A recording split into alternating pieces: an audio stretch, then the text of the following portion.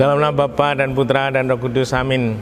Bu Bapak, Saudari, Saudaraku yang terkasih, kaum muda adik-adik, salam bantul kasih, berkah dalam. Kembali kita berjumpa dalam renungan harian hari ini Sabtu 16 Oktober 2021. Kita akan mengambil dari Injil Lukas bab 12 ayat 8 sampai 12. Sekali peristiwa Yesus bersabda kepada murid-muridnya, Barang siapa mengakui aku di depan manusia, akan diakui pula oleh anak manusia di depan para malaikat Allah. Tetapi barang siapa menyangkal aku di depan manusia, ia akan disangkal pula di depan para malaikat Allah. Setiap orang yang mengatakan sesuatu melawan anak manusia, ia akan diampuni. Tetapi barang siapa menghujat roh kudus, tidak akan diampuni Apabila kalian dihadapkan kepada majelis atau pemerintah atau penguasa, janganlah kalian khawatir.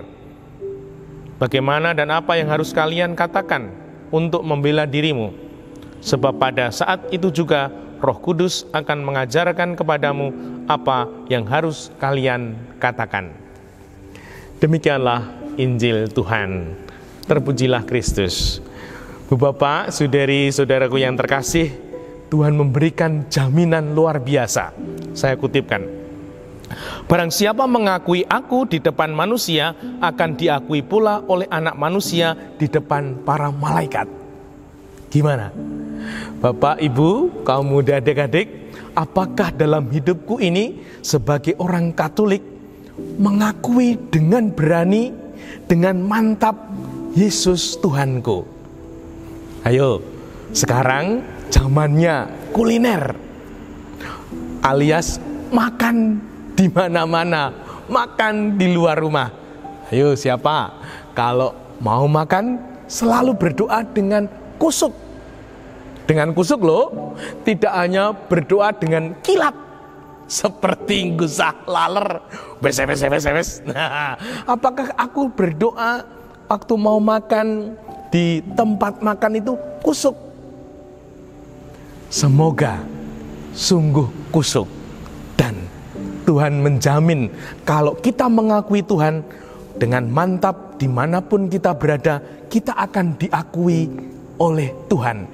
Dan juga Tuhan menambahkan di sini, apa ya? Bila kalian dihadapkan kepada majelis atau pemerintah atau penguasa, janganlah kalian khawatir bagaimana dan apa yang harus kalian katakan untuk membela dirimu Sebab pada saat itu juga Roh Kudus akan mengajarkan kepadamu apa yang harus kalian katakan.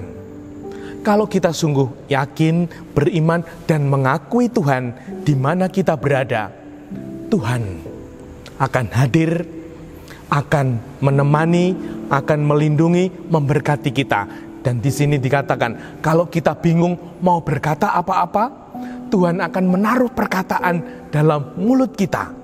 Luar biasa jaminan luar biasa. Nah, semoga kita sungguh-sungguh pribadi beriman, percaya, yakin, dan itu kita wujudkan di dalam hidup harian kita. Teristimewa untuk anak-anak kita. Kita kelihatan sungguh sebagai pribadi yang Katolik, yang beriman, yang percaya, mengakui Tuhan, meluhurkan Tuhan. Dimuliakanlah Tuhan kini dan sepanjang masa. Salam bantul kasih, berkah dalam. Dalam Bapa, Putra, dan Roh Kudus. Amin.